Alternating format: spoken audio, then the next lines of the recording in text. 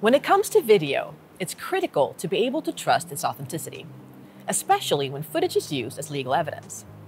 But how can you know that a video hasn't been tampered with? A video passes many steps on its way from the camera to the person viewing the recording, presenting opportunities for video tampering. Enter Axis Devices and their game-changing solution, Signed Video. This feature acts like a digital fingerprint, tracing the footage back to the Axis camera of origin.